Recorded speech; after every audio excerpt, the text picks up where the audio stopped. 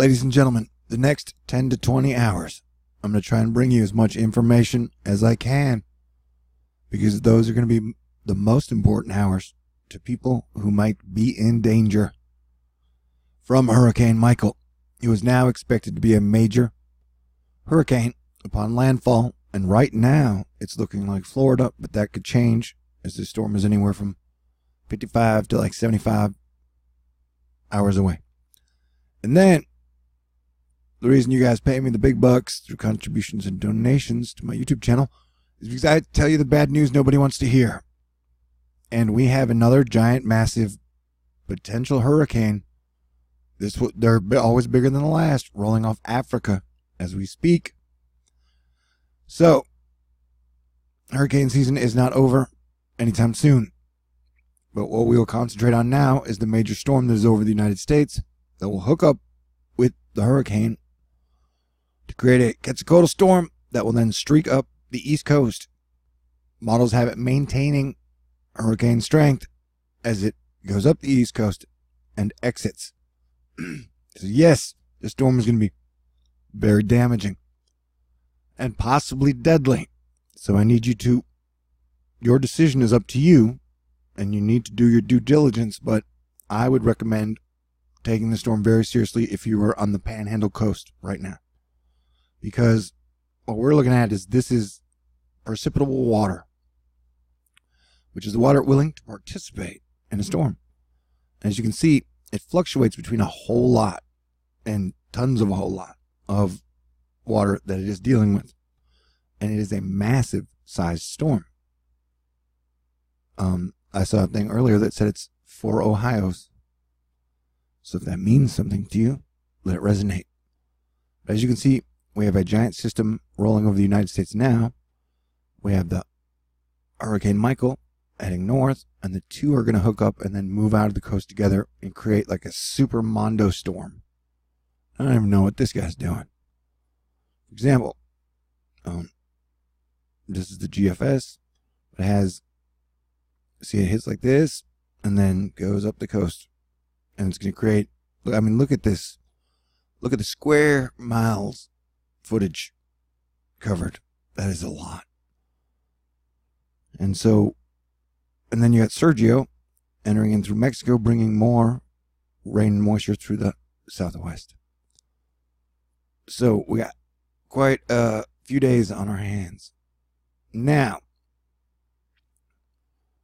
and I just want to remind you, I put out an alert starting the 26th of September through all of October saying that we are on high, high alert for major weather, hurricanes, and volcanoes and earthquakes. And since then, we've had a 7 7 earthquake. We've had volcanoes popping off everywhere. A hurricane is now about to hit the United States as Sergio hits Mexico, as Leslie hits the UK, probably, and as a Medicane hits the Mediterranean. So my warnings seem to be pretty accurate.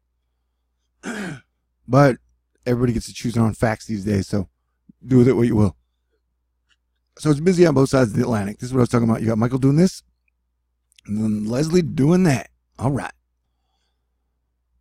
And then here is the king of weather Twitter and the best weatherman on the planet that I know, Cranky Weather Guy. You can follow him on Twitter, and and I'll leave his blog here, stormhamster.com, for his breakdowns. And then if you're in the path of the storm, I highly recommend being on Twitter. It's usually a cesspool talking about politics and other crap, but during weather events like this, the weather team on Twitter is fantastic. Um, I'm at, at New Thor, um, though I'm grumpy today. So yeah, he's showing us just observing at this stage. Need to get further along to do any comparisons, new analysis, but has both supportive and inhibitive environmental issues. They're battling it out. And so then there's been this kind of debate of, you know, will it be Cat 1, Cat 2, Cat 3? I think, you know, be prepared for worst case scenario. And so we know that it's going to be a pretty strong, pretty powerful storm unless a miracle happens. So it's all pray for a miracle. Andy Hazelton, this is very much a tweet for scientists. What? But it's really interesting. Note the warming of the clouds southwest of the CB near the tip of Cuba that is likely compensating subsidence sinking air. Due to the very strong updraft, this tends to warm the eye. It's cool to see so clearly. Oh my god, that scared me. It looked like a ghost face. Ghost face killer. All right, so yeah, I guess if you like spooky stuff, then this is the month for you. And another reason I'm putting this video out is the new Euro is out, and everybody's like, the King Euro. This is brought to us by Stephen Eckhart. Um, yeah, so the King Euro has it at about 135, 120 mile per hour winds. I think those are sustained wind speeds. So, what is that? All right, so yeah, so that's 130 mile per hour winds. Let's go over here to our Mike's. Oh, and here's another thing. I'll try and leave this link in the box. It's spaghetti models at um, Mike's weather page. It has all these wonderful things in one place for you. I'll leave it in the information box under crankies. Um, but so 130 mile per hour winds would be because what I'm worried about is storm surge, and it's a fast moving storage storm, so it could push a lot of storm surge on the shore. And storm surge is deadly if it gets too high. See, 130 mile per hour winds would bring anywhere from 13 to 18 feet of storm surge. And the waves I was looking at earlier were about 31 feet. So,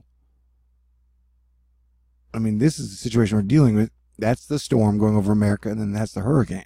So, I don't know. We got earth weather changes that have been happening that I've been trying to tell you about at Thor News for five years, saying, hey guys, why don't we all unite as one Earth family to meet these Earth weather changes as Earth changes real fast? Okay, so here, and this is these are all the flood watches and warnings in the middle of the United States. I mean, that's a pretty heavy, pretty thick rain band flood warning watch region. We got a lot going on. And I guess the overall the energy is just crazy. Do you feel it? I do. That's why I'm usually cooler than this. But man, it's been a rough year. How about for you? Um, yeah, I just want to show you the. See how that the hurricane is down here, and then you still have a lot of rain ahead of this, and then there's the big rain band that is moving over the United States, causing all those problems. And these two are going to hook up, create a giant monster megastorm that goes up the East Coast.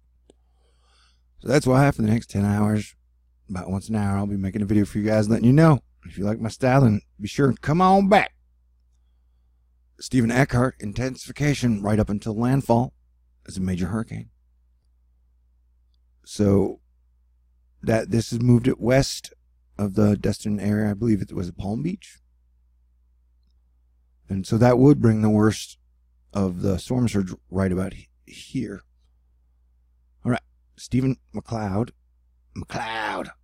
Hurricane Michael is growing and intensifying. Thunderstorm development is increasing, especially in the northwest quad. This goes 16 IR, shown in Baron Weather Lynx. Florida Weeks. Yeah, as you can see, she's filled with life and she is kicking. She looks like she wants to grow, grow, grow. And the only thing that's going to stop her is the coast. As we mentioned, the Euro has moved a bit west as well and is much closer to the benchmark southeast of the New England. Quicker 2, new track top, old track bottom. So, yeah, we bring landfall about here, so the worst of the storm surge would be in these areas. And so the people in the storm surge areas uh, definitely would get the hell out of there. I don't know where this volcano is. It's Vulcan, Volcano Venimanov Copernicus. No, I thought this is another one's been going off.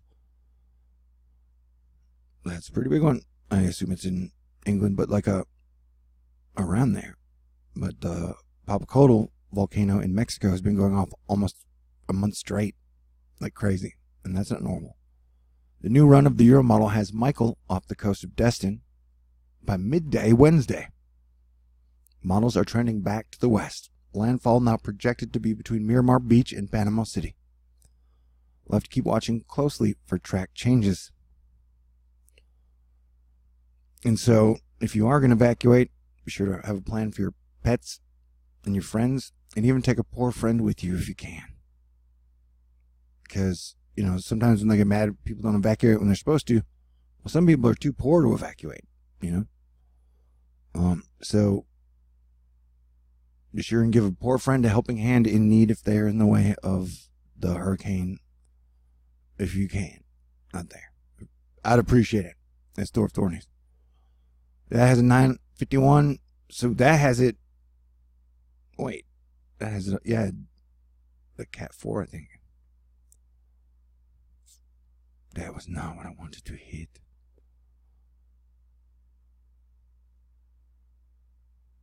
Nine forty four.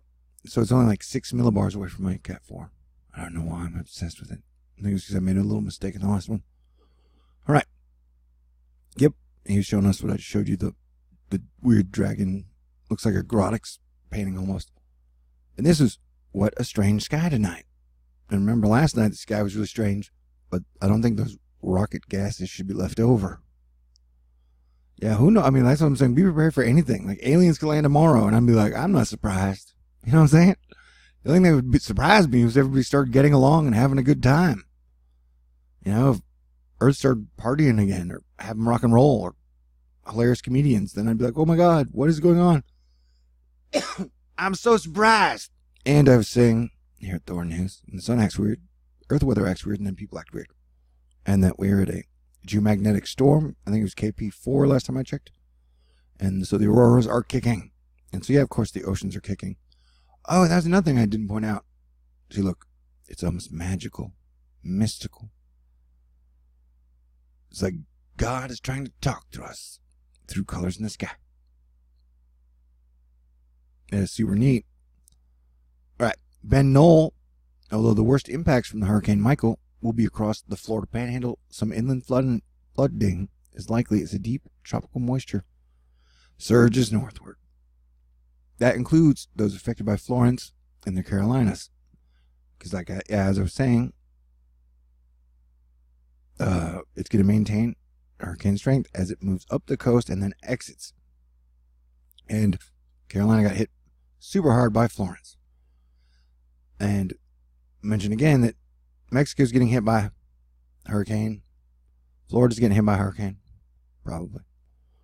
And then Leslie might be hitting the UK, and then the Medicane is hitting the Mediterranean. So these are wild days indeed, and we've still got a month or two left in hurricane season.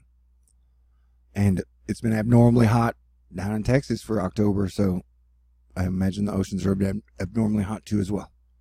This is the wonderful Bobbistorm. This is a great product the National Hurricane Center Atlantic added that you need to learn how to use. I'll put in the information box. You can zoom in zoom out, add options. That sounds good, except for sometimes. And then here's her blog. I use it often in Harbor, Hurricane Harbor Blogspot. I'll leave a link to her blog as well.